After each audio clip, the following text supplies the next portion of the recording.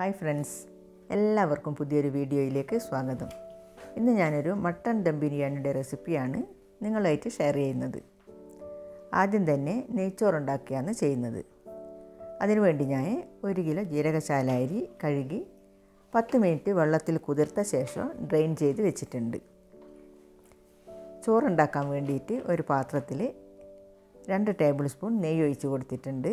അതൊന്ന് ചൂടായി വന്നപ്പോൾ കുറച്ച് സ്പൈസസ് ഇട്ട് കൊടുക്കുകയാണ്. നാല് ഏലക്ക അഞ്ചാറ് ഗ്രാമ്പു ഒരു ബേ ലീഫ് മൂന്ന് കഷ്ണം പട്ട കാൽ ടീസ്പൂൺ പെരിഞ്ജീരകവും കാൽ ടീസ്പൂൺ സാജീരകവും. ഇതെല്ലാം ഇട്ട് കൊടുത്തിട്ട് ഇതിലേക്ക് അതൊന്ന് മൂപ്പിച്ചെടുക്കുകയാണ്. ഇതിലേക്ക് പന്ത്രണ്ട് ഗ്ലാസ് ചൂടുവെള്ളം ഒഴിച്ചു കൊടുക്കുകയാണ്. ഞാൻ ആറ് ഗ്ലാസ് അരിയാണ് എടുത്തത്. ഒരു ഗ്ലാസ്സിന് രണ്ട് ഗ്ലാസ് വെള്ളം എന്ന കണക്കിലാണ് ഞാൻ വെള്ളം ചേർത്ത് കൊടുക്കുന്നത്. ഇനി കഴുകി ഡ്രെയിൻ ചെയ്ത് വെച്ച അരി ഇട്ട് കൊടുത്ത് ആവശ്യത്തിന് ഉപ്പും ഒരു ടീസ്പൂൺ നാരങ്ങാനീരും കൂടി ചേർത്ത് ഒന്ന് ഇളക്കിയിട്ട് തിളച്ച് വന്നാൽ ലോ ഫ്ലെയിമിൽ അടച്ച് വെച്ചിട്ട് വേവിച്ചെടുക്കണം. ഒരു പത്ത് മിനിറ്റ് കൊണ്ട് തന്നെ ചോറ് വെന്ത് കിട്ടും. ഇപ്പോൾ വെള്ളമൊക്കെ വറ്റി ചോറ് വെന്ത് വന്നിട്ടുണ്ട്. ഒന്ന് ഇളക്കി കൊടുത്ത ശേഷം അടച്ച് വെച്ചിട്ട് ഫ്ലെയിം ഓഫ് ചെയ്യാം.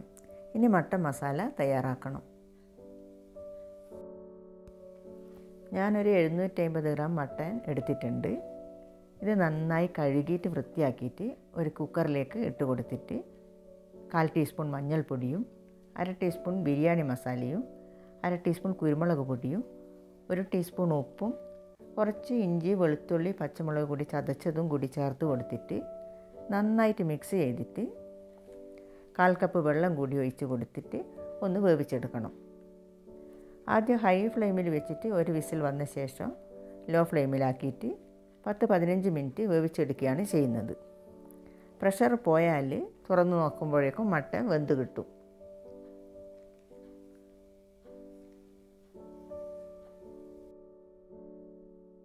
മട്ടൻ ഞാൻ വേറൊരു പാത്രത്തിലേക്ക് മാറ്റി ഇതേ പാത്രത്തിൽ രണ്ട് ടേബിൾ സ്പൂൺ ഓയിൽ ഒഴിച്ച് കൊടുത്തിട്ടുണ്ട്.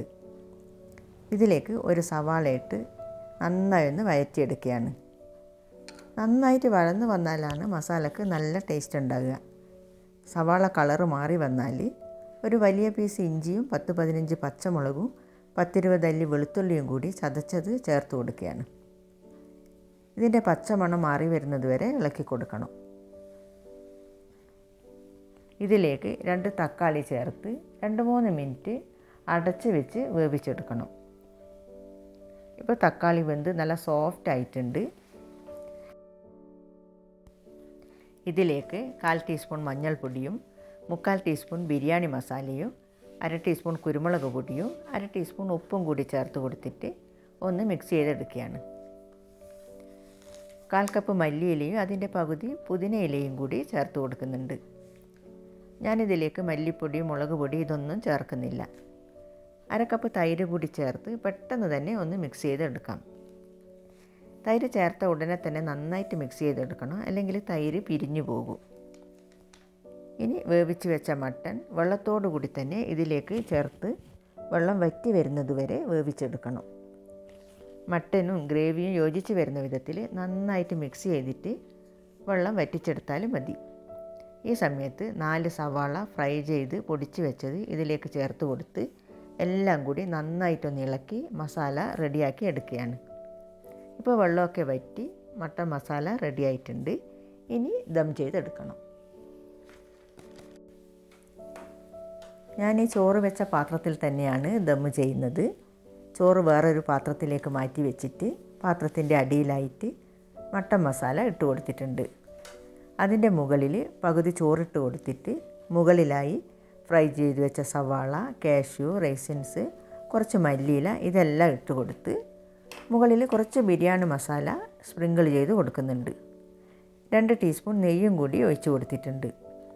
ഇതിന്റെ മുകളിൽ ബാക്കി ചോറിട്ട് കൊടുത്ത് ആദ്യം ചെയ്ത പോലെ തന്നെ മുകളിൽ ഫ്രൈ ചെയ്ത് വെച്ച സവാള കാഷ്യൂ റൈസിൻസ് മല്ലിയില ബിരിയാണി മസാല നെയ്യ് ഇതെല്ലാം ചേർത്ത് അടച്ച് വെച്ചിട്ട് ചൂടാക്കിയ പഴയ തവയിൽ ഇരുപത് മിനിറ്റ് ലോ ഫ്ലെയിമിൽ വെച്ച ശേഷം ഫ്ലെയിം ഓഫാക്കിയിട്ട് വീണ്ടും ഇരുപത് മിനിറ്റ് കഴിഞ്ഞ് തുറന്നിട്ട് സെർവ് ചെയ്യാം.